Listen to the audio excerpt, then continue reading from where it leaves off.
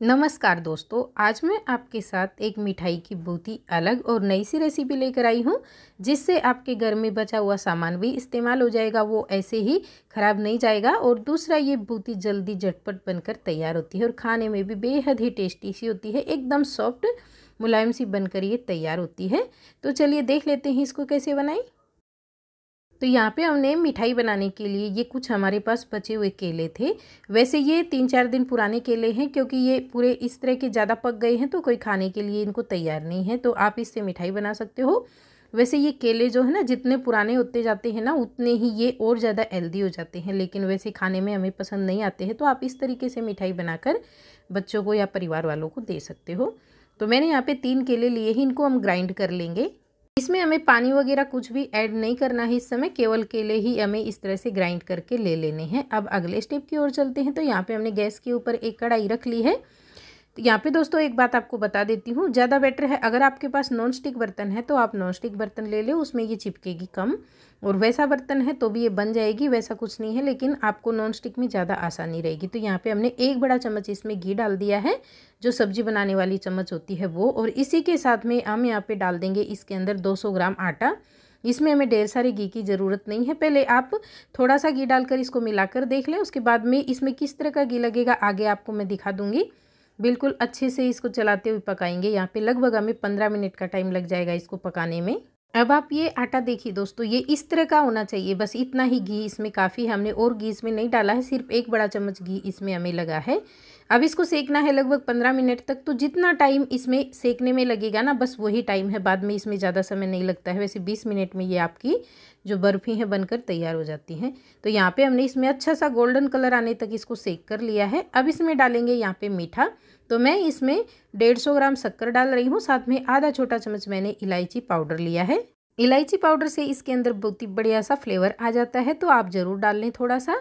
इसके बाद में बारी है, इसमें हमने जो केले ग्राइंड करके लिए थे, उसका पेस्ट डालने का। तो इसी समय डालेंगे यहाँ पे और गैस का फ्लेम जो है हमने एकदम कम रखा है, बिल्कुल कम आँच रखे उस समय जब आप ये पूरी सामग्री इसमें डाल रहे हैं। अब इसी के साथ में इसमें हमें डालना है दोस्तों थोड़ा सा पानी। तो पानी हमें कितना डालना है? जितना हमने आटा लिया है ना, उसी बर्तन से हमने सेम आटे का डबल पानी ले लिया है। अब थोड़ा सा फ़ूड कलर इसके अंदर ऐड करेंगे और ऊपर से हम यहाँ पे पानी डाल लेंगे। पानी डालने के बाद में इसको हमें लगातार चलाना है, छोड़ना बिल्कुल भी नहीं है और गैस का फ्लेम हमें कम ही रखना है।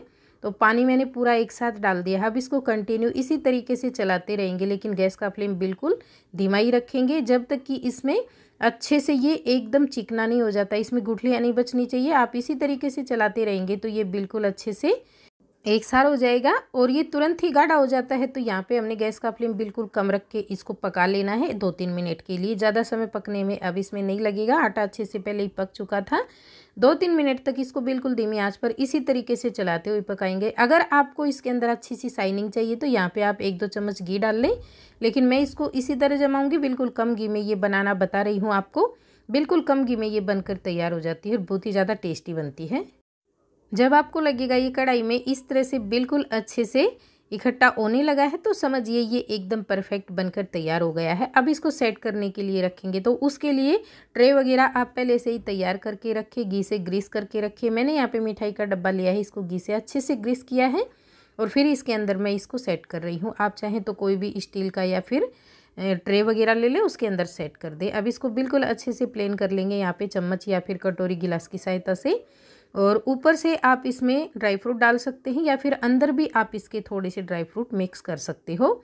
तो मैंने ऊपर से इसके ऊपर डेकोरेट करने के लिए कुछ पिस्ता और बादाम की कतरन ले ली है। इससे हम इसको बिल्कुल अच्छे से डेकोरेट करेंगे।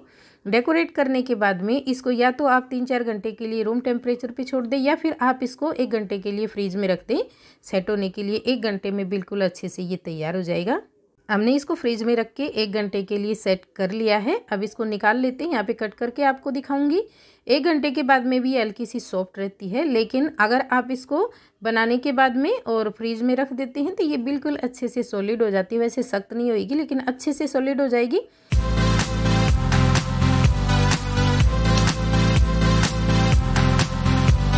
अब इसको तोड़कर भी आपको दिखा देती हूँ। बिल्कुल सॉफ्ट सी बनी है और खाने में भी बेहद टेस्टी होती है। तो आप इस तरीके से केले की मिठाई बनाकर ज़रूर देखना। आप बचे हुए केले से या फिर ताज़ा केले से भी इसको बना सकते हो। आपको बेहद पसंद आएगी और अगर आपको आज की रेसिपी पसंद आती है तो प्लीज़ मेरी रेसिपी को लाइक, शेयर, कमेंट और मेरे चैनल को सब्सक्राइब करना ना भूलें। वीडियो देखने के लिए, अपना कीमती समय देने के लिए आपका बहुत बहुत धन्यवाद।